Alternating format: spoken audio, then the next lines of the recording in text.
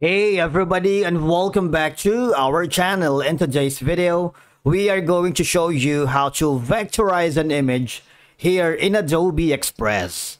Let's begin. Now, the first thing that you need to do is to log in using your credentials. If this is your first time in Adobe Express, I want you to click the sign up option. And from here, just follow the on-screen instructions and you're good to go. Adobe Express doesn't have a direct vectorization tool like Adobe Illustrator does, but you can achieve a similar effect using creative techniques by leveraging the Adobe's ecosystem. Alright, so once you are logged into your account, I want you to click on the project or design that you are working. If you haven't already, this is going to be the opportunity for you to go to more ways to start and click the view all. In this section, there is going to be a tab that says quick actions. I want you to click on it. And the first thing that we need to do to create a vector kind of effect here in Adobe Express, although our tools and options are quite limited, is to convert it to SVG. That's the most important thing to do. I want you to click on it. And from here, you might want to drag and drop a JPEG or PNG image to convert to SVG, which is I'm going to do right now. Alright, so this is going to be the image that I'm going to somewhat kind of vectorize. Alright? Just wait for it. While Adobe Express cannot create true vectors, of course, we're going to try our best to give a vector-like appearance. You see that? Now, all I have to do is download this. What? Once it's downloaded, I'm going to upload it to a new page here. Alright, same size, I'm going to upload that.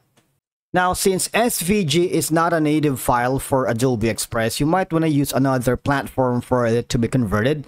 I'm using Canva, for instance. Okay, so this is the basically um, image from the uh, Adobe Express that we have exported, and I'm going to download it here via the uh, Canva. All right, it's a crossover. Now I'm going to download it as a PNG here in this platform and then export it again to the Adobe Express. All right, let me click on download, wait for it.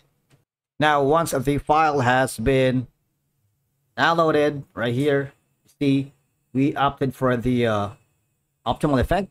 Now, you can use the remove background for this. All right. So what will happen is we it would retain the photo only of or the face only that we wanted to achieve the effect all right? We don't need all of these um extra text right here what we need is the image only. It it, it is trying to remove it so uh, just wait for it a little bit. It takes a little while. Now once you are happy with this for example what you can do from here is basically create a vector kind of effect by putting say for example a media. No an element. I'm sorry an element all right? Go to the shapes. Go to shapes because you can manually draw from here. What i'm going to do is select the uh, border thickness right here. All right? And of course you can try to create a vector kind of feel all right? So i'm not really good with this but you uh, if you're still following that's the kind of effect that we are trying to do because again your options are limited here in Adobe Express. If you want more advanced tool for vector, you might want to use Adobe Photoshop or Adobe Illustrator as well. So uh, they are designed for the vector images like this. But for now, we can do with our limited options. And that's it for today's video. Thank you so much for watching. We will see you in the next one.